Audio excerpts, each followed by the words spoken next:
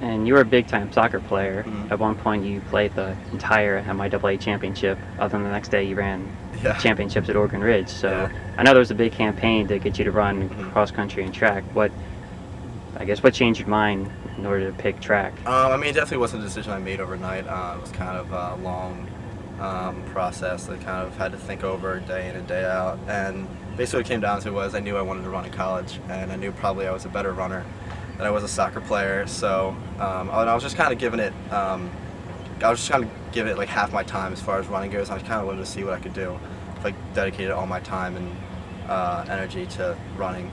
So just wanted to see what I could do.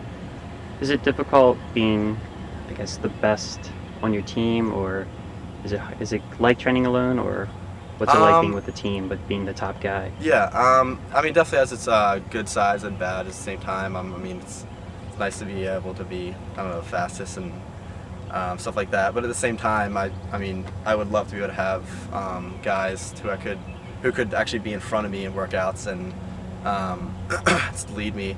Um, but I mean, I make do with what I have, and I mean, I'm happy with it how I am right now. I mean, the guys are great. I still go on training runs with them all the time, and we'll do a workout, and a couple of the guys will do a workout at like 800 pace, and I'll do it at mile pace, and they'll lead me through. So um, it's not really a big deal at all. Um, I mean, obviously, I'll have plenty of teammates next year at Oregon to push me.